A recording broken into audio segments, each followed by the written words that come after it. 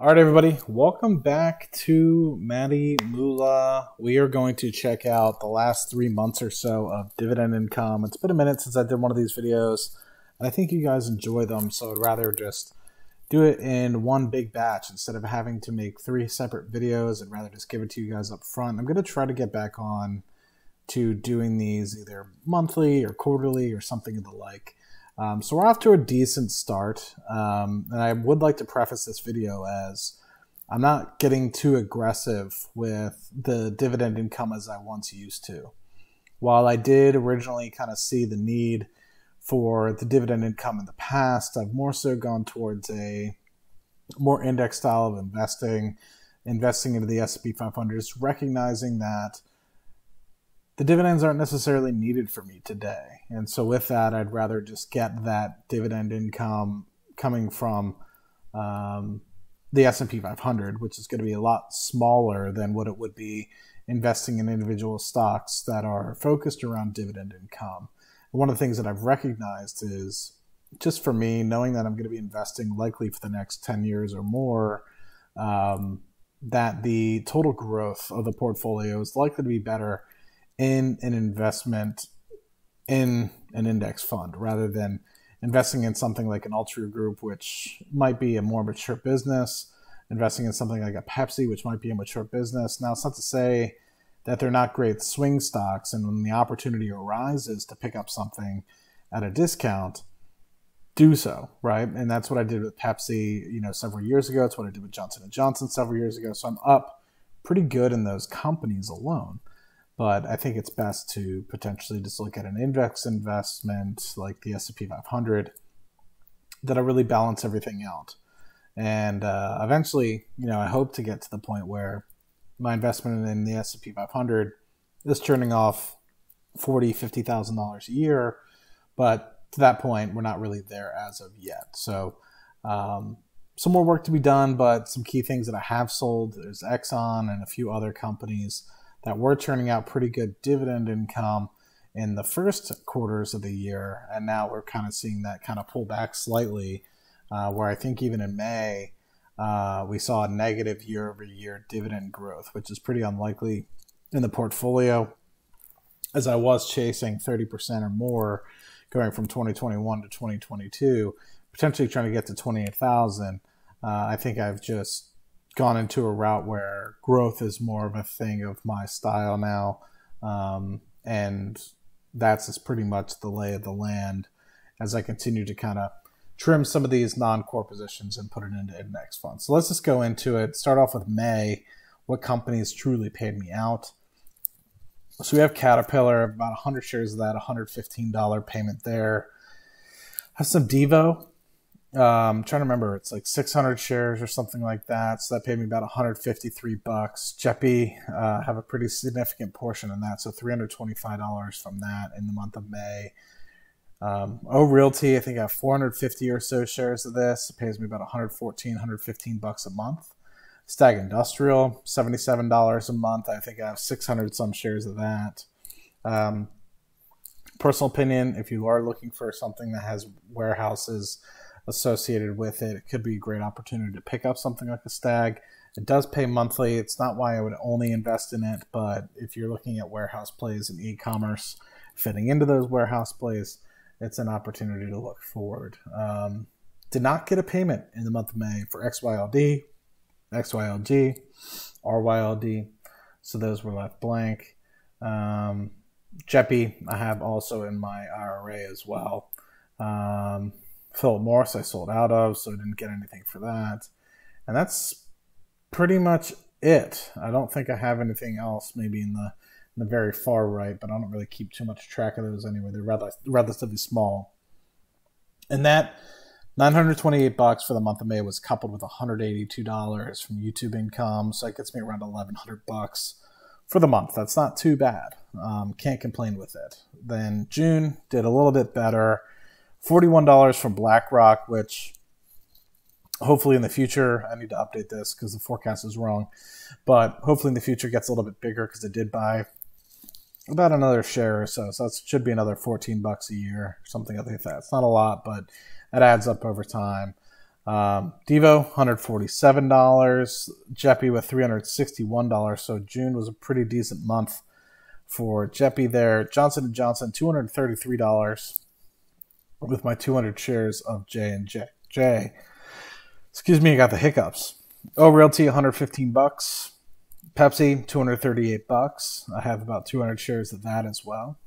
Um, reinvesting all these, of course. $395 in Shell, and um, some of the money I reinvested in Shell. So uh, I should actually look at what my forward dividend income should be from Shell because that should raise because half the money I sold in Exxon, which was you know circa thirty or thirty five thousand dollars, went to Shell, so it was a pretty big purchase, and then the other half went into the S P 500.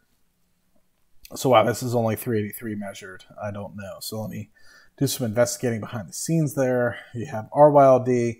You got two payments. That payment was supposed to be in May, actually ended up in early June, and then we had a payment at the end of um, of June as well. So that ended up being about sixty three dollars there. Uh, Stag another seventy seven dollar payment on the month. Exxon is my last dividend payment from them, three hundred thirty bucks. Excuse me, man. It's late. Uh, 150 bucks coming from XYLD. Once again, that is the payment for May and June that just showed up in June. Uh, XYLG, about 153 bucks as well. And not much other than JEPI again in the IRA. And I think that that might honestly be it. So that's that's pretty much that for the month of June. So 2600 bucks there coupled with the 180 190 bucks there that ends up being about a $2800 month in total for the month of june. And that's pretty typical for the last month of a quarter and ends up being pretty good. Um, keeping in mind that these early numbers also have uh, options trading which i haven't really gone through and tracked. But uh, you can see in march it was like 3400 bucks and i think that that has to do with the fact that bhp also pays um, march and september and so those are generally pretty big months. Just the fact that you have BHP paying those extra dividends uh, in there as well. So moving on to July, you have the monthly payers. So expect the DIVOs, expect the JEPI. So DIVO paid 144, JEPI paid 439. Phenomenal month in the phenomenal payment month in the month of July for JEPI. Altria Group paid 400 bucks, 480 bucks, almost 500 bucks there, um, which was pretty cool. Realty Income, 116 bucks there. You have Stag, always paying uh, 77 bucks there. Spy, 200 bucks. That's pretty good. It's about half a share of Spy at the moment. So I'm hoping to double that amount. Um, so I think I have almost 230 shares of Spy. Would love to get it closer to 500, and that would be able to get me about a share of Spy per quarter, and that would end up really starting to snowball some things. So that'd be pretty cool. So I wouldn't be surprised in the few months or so if I do continue to consolidate some positions. If that ends up going up, then you have RYLD, 33 bucks there, 115, 116 from uh, Realty Income, 77 bucks from Stag. Yep, said that. Um, then you have the 77 bucks, almost 78 bucks from XYLD and XYLG. I think I might simplify this as well. Um, going from XYLD and RYLD and maybe take some of that money, put it into Spy, and maybe take some of that money and put it into XYLG. I'm a more of a fan of XYLG. Yes, I know it costs more in terms of the expense ratio than you guys might like, but at the same time, it's only written cover calls on half the position of Spy that they invested. So it's not necessarily as limiting as an XYLD um, in terms of the cover calls only being like a 1% or 1.5% above um, the money, you're talking about only half the position being covered under the covered calls, and so it allows for you know 50% of the spy shares to kind of run without any sort of cap to them. So that ends up allowing you to have a little bit more equity value growth. Now, of course, I still don't need the dividends, but uh, that's neither here nor there. For some reason, man, I just love dividends. So uh, 123, 124 bucks. I hope I'm not making you guys yawn in the video. Um, sorry, I just wanted to knock this one out. I was like in the midst of doing it and had the opportunity. The WP Carey for 106 bucks. And I think that that's pretty much it. Um, we have some money here and there, 50 bucks here there. Nothing too crazy going in uh, to that. So that ends up being about two thousand dollars. Coupling that with the two the two hundred fifty bucks that I got for the month of July for YouTube, it's about twenty two hundred bucks altogether.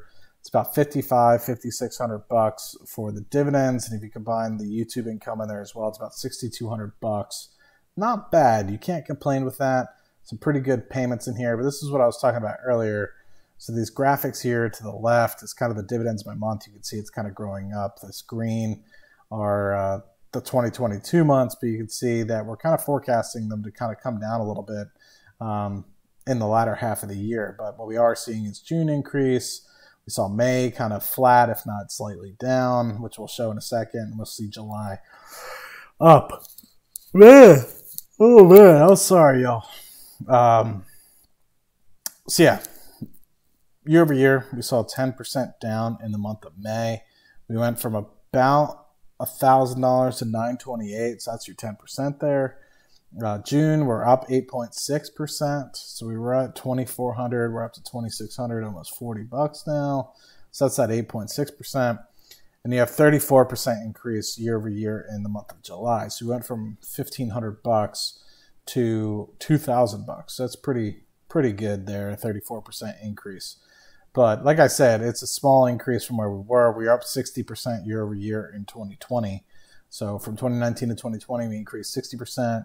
2020 to 2021, we increased 51%. And we're only really on track right now for about a 5 6% increase um, year over year uh, in 2022. So it's not very good, but uh, you can't complain with it also. But you can see we were kind of getting there in the first few months of the year, but I've kind of taken my foot off the gas pedal and rearranged some money. More specifically, like Exxon, that was a pretty good dividend payer, man. So some um, putting some of that into Shell and putting that in the S&P 500 really takes away a good amount um, in there. So we'll see what ends up happening, but just overall, you're seeing a steady downtrend. Let me see if I can include. Um, the I'll do it a little bit later off screen, but uh, wanted to share that with you guys. I think it's pretty cool. Some of you guys have been following me since I was truly in the dividend days, but I'd like to take an opportunity to tell people, you know, hey, if you have the opportunity to potentially look and um, be a little bit more about specifically um, your portfolio and understanding what your objectives are and your time horizon and what you're really trying to do with your investments, you might come to the same conclusion as me. I mean, I was investing heavily into dividends because in 2014, 2013, you know, I was in a very volatile industry. I work in oil and gas. And um, with that, you saw the volatility and the need for some sort of fallback plan, whether it was dividends or something of the like, to generate some sort of income. So that was my immediate draw to the dividends aspect of the business um, or say investing. And what I've since seen is I've underperformed the market because I was chasing yields very early on in my investment career, which I know and I see a lot of other people do. So I call them out for it. And what I've recognized is that I probably would have just under overperform, not overperform, but match the market at least if I just done index funds, and I'd have probably several several hundred thousand dollars more than I do today, just based off that mistake alone. Not saying it's the right way for everybody, but what I recognize is a lot of people fall in the same trap as I do. Um, you know, then I kind of fall more in the line of just instead of chasing yield, chasing dividend growth investors, and those do well over time. And I agree, depending on what companies you pick up, they end up doing really, really well over time. Um, you know, Dr. Pepper is a good example. You have a lot of great examples out there. Um, but at the end of the day, it requires a lot of time and effort. And what I've recognized for me is the way that my brain works, side hustles and stuff work. Um, instead of me trying to churn on something that I can really not control all too much, what I can control is my side hustles. What I can control is making that additional income and putting it into the market. So let's say I was able to get an additional 5% or something like that year over year on my investments. What's probably more prudent of me to be doing is just making more money in general, where I've made dozens of thousands of dollars by side hustling and then putting in the stock market. Instead, I'd be trying to churn and churn and churn to make 5% more in my entire portfolio. It could be a pretty good, significant sum of money.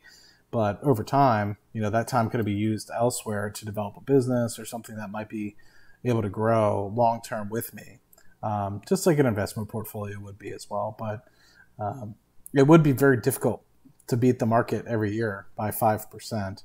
Um, being able to get a 14, 15% annualized return is pretty significant. And so most of the time, and what I saw was I was underperforming the market more, more likely. And I kind of said at the time, you know, I was right when I was saying this for my own personal investment thesis.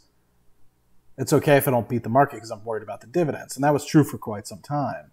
But now I've kind of matured into the portfolio and been like, crap, where would I have been in terms of the hundreds of thousands of dollars that I've likely lost? um, by underperforming the market. And at the time, it didn't matter. But now the fact that I have, you know, twenty odd thousand dollars a year coming in in dividends, I'm in a different spot. And so, um, you know, I have a decent job. I have the ability to to make side hustle income if I need it. I have this pretty decent nest egg now.